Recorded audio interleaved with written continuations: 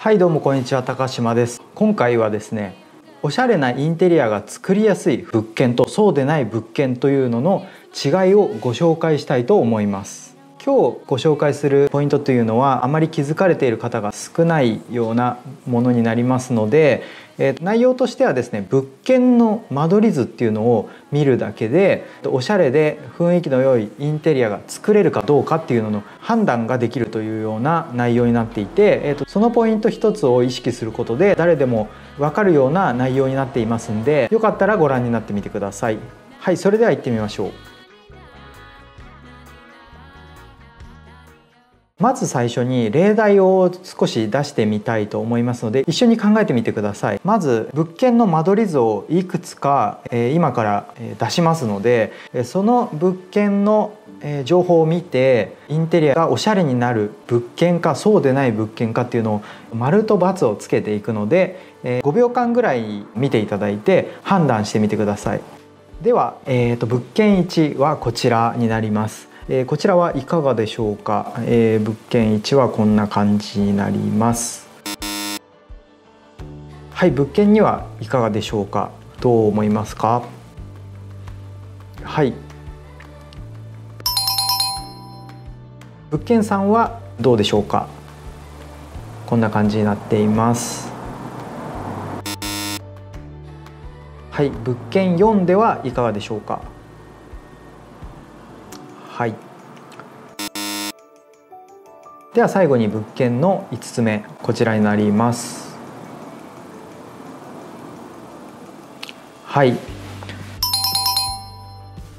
はいこちら正解された方はなかなかポイントを理解してるんじゃないかなと思います。丸と×つけましたが×の方でも、えー、うまくやればなんとかなりますので丸の方がよりいい雰囲気が出せるよっていうようなことになっています。この答えの理由を説明していきたいと思うのですがその前にですね僕がこれおしゃれだなとかいい雰囲気だなって思うインテリアをちょっと今から出しますのでご覧になってみてください。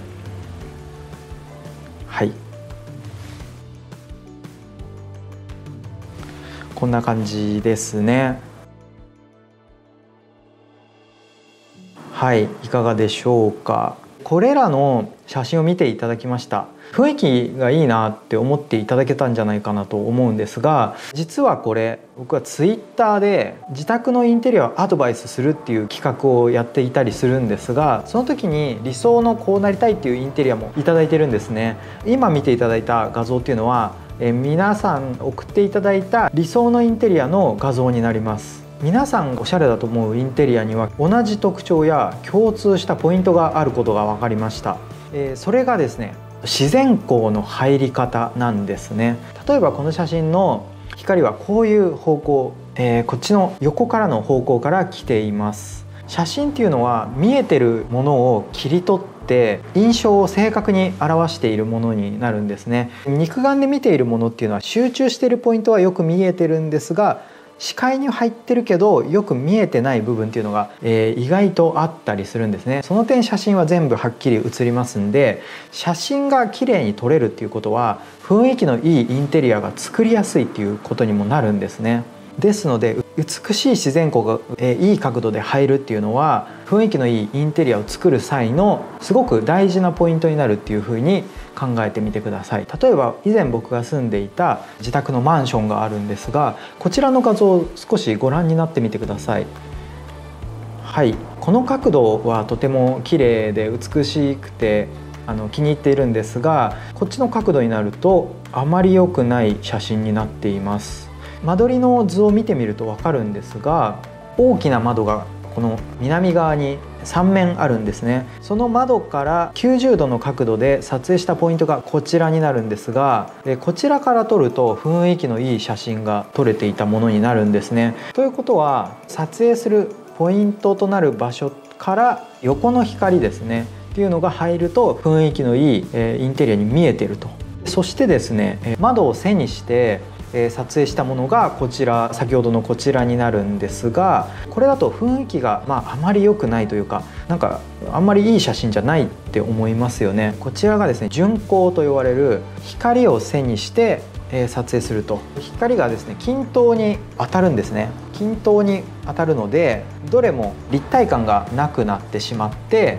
雰囲気のある写真が撮れていないと。ですのでこっちから見るとあんまり良くないっていう雰囲気になってしまうと。逆側のですね逆光ですね今の反対側から撮ってみるとなんか面白い写真にはなるんですが外をきれいに撮ろうとすると室内が薄暗く見えてしまったりシルエットに見えてしまったりとかですね。インテリアをうまく撮ろうとすると外の明るさのギャップが強いせいで外が真っ白になってしまったりするっていうことで眩しくなりすぎてしまってるんですね。そうなると正しく写真を撮るっていう意味では逆光っていうのもあまりいい角度ではないんですね。今回のポイントを言っていくと、えっと、要するにですね部屋全体を見渡せる位置っていうのがあると思うんですね。でそこにメインの家具だったりスペースを作ると思うんですがその時に窓に対してですね90度このメインとなる部分の横に両サイドどちらでもいいんですが窓がある状態っていうのが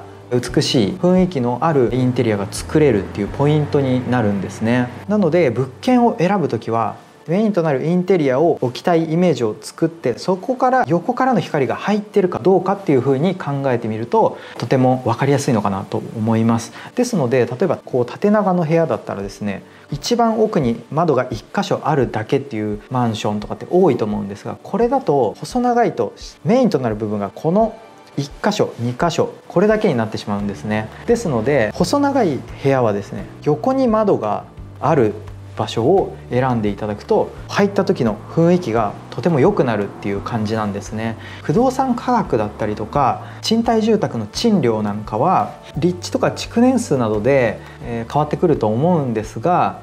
今回お話しした部屋の形状と窓の位置っていうのはですね賃料に全く影響がないんですね。ですのでもしこれからお家の購入を検討されていたりだとか引っ越しを考えている方だったりっていうのはえっと、同じ費用を使ってもですねメインとなる場所に対する窓の位置っていうのを見ていただけると全く同じ費用で全然違う雰囲気のいいインテリアを作ることができるんじゃないかなと思います、えー、だいぶ満足度が変わると思いますので是非試してみてください。最後に今回のポイントを踏まえた上で間取り図をもう一度別のものを用意してますんで、えー、こちらを見て、えー、雰囲気のいいインテリアにしやすい物件っていうのを丸か×かでもう一回、えー、挑戦してみてください、えー、ではまた5つご用意しました。例えばこちらいかがでしょうか？1つ目。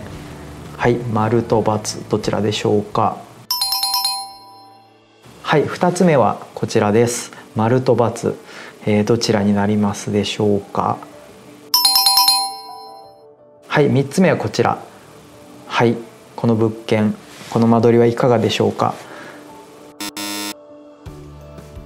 はい4つ目はこちらになります。いかがでしょうか？はいこちらが5つ目になります。はい。はいいかがだったでしょうか？結構簡単に答えられたんじゃないかなと思います。というわけでですね今回は間取り図を見るだけでおしゃれでいい雰囲気なインテリアが作れる物件かどうかっていうのを判断できるポイントをご紹介してみました。はいというわけでデザイン写真インテリアなどのクリエイティブの裏側についてまたこちらからお送りしたいと思います。はいそれではまた。